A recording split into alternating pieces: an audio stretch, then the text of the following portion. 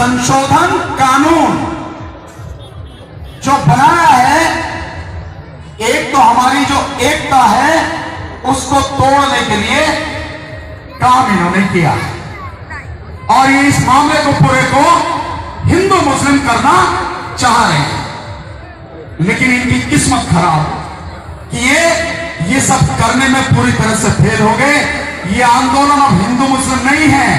ये आंदोलन भाजपा, आरएसएस और बाकी पूरा देश इस तरह से आंदोलन बन गया।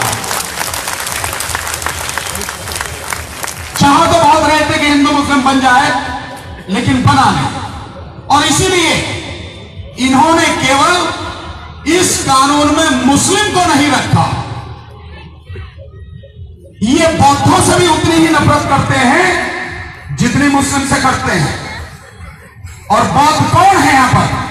जितने भी बौद्ध हैं, वो हैं एससी और एसटी के लोग, दलित समाज के लोग। सो उनसे भी नफरत, शायद कहीं ज़्यादा मुस्लिमों से भी ज़्यादा नफरत, ये उन दलित समाज के लोगों से करते हैं। लेकिन उन्हें हिंदू दिखाना है, इसीलिए इन्होंने उनको निकाला नहीं, उनको साथ में रखा और निकाला केवल मुस्लिम को, ताकि वो अपने आप को हिंदू समझे और ये भी उनको कहे कि तुम तो हिंदू हो, तुम तो हमारे ही हो। उन्होंने बौद्धों को नहीं निकाला। और नफरत ये सिखों से भी उतने ही करते हैं, ईसाइयों से भी उतने ही करते हैं। आपको ध्यान है, उड़ीसा में एक ईसाई मिशनरी को, काम करने वाले को, उसको और उसके छोटे से बच्चों को इन्हीं लोगों ने एक गाड़ी में ज़िंदा जला दिया था। बड़े खूबसूरत, प्यारे बच्चे थे। उसका कोई काम नहीं था। वो विदेश का रहने वाला था। यहाँ आकर केवल जो गरीब लोग थे उड़ीसा में, उनको पढ़ाने का काम कर रहा था वो व्यक्ति। उस व्यक्ति को क्योंकि ईसाई था, इन्हीं हिंदूवादी संगठनों ने और उसमें आज एक व्यक्ति किसी सरकार में, केंद्र सरकार में मंत्री बना बैठा है। अपने दो बच्चों के साथ में ज़िंदा जला दिया था। तो ईसाइयों से भी उतनी ही नफरत करते हैं। जितनी मुस्लिमों से। लेकिन ईसाई को भी रखा नहीं।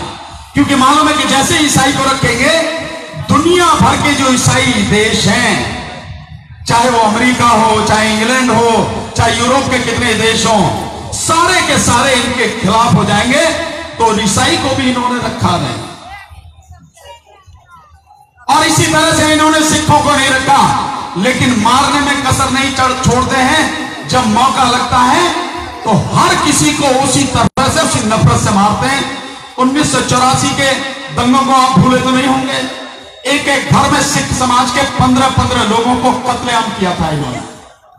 पंद्रह पंद्रह लोगों को, वो वही नफरत थी। लेकिन अगर इन सबको एक साथ अपना दुश्मन बना लेंगे तो इनकी जान आफत पड़ जाएगी कुछ कर नहीं पाएँगे। इसलिए इन्होंने केवल निशाने पर रखा है सामने जो रखा है, वो मुसलमान को रखा है, पर निशाने पर सब है इनके। कोई ये ना सोचे कि मेरा नाम तो है नहीं। ये किसी से भी प्यार करने वाले नहीं हैं।